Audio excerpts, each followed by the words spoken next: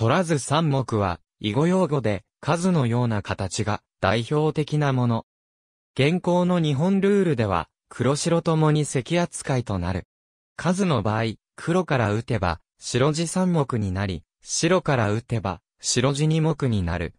ただし、歴史的にはこの形の死活あるいは地を何目とするのかが、ルール上の問題とされてきた。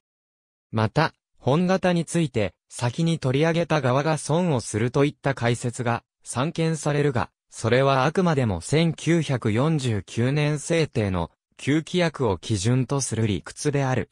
黒から打てば、白地三目になる。黒1で黒の上げ浜は1個になる。白2で白の上げ浜は5個になる。黒5で黒の上げ浜は1個増えて2個になる。結果として、白の上げ浜が3個多くなり、白地三目になる。なお、白に、鋼材が多ければ、白地は、最大8目になる。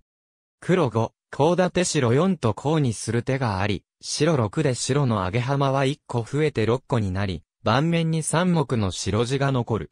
この時黒の上げ浜は1個なので、この隅の白地は8目になる。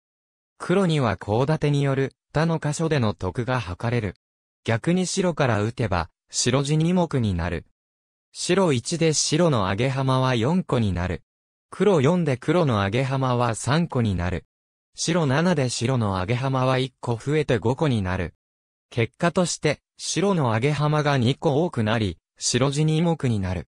なお、黒に、鋼材が多ければ、黒6で7の左に打つ手があって、さらに白地は1目減る。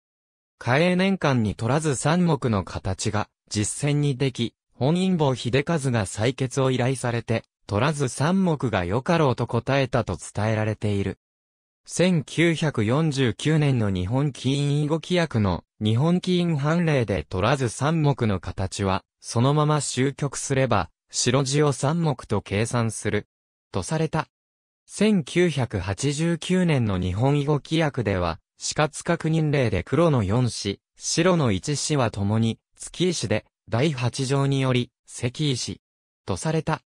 すなわち、どちらも着手せずに終われば、どちらの地にもならないため、実戦では、白が着手して二目を得ることになる。ありがとうございます。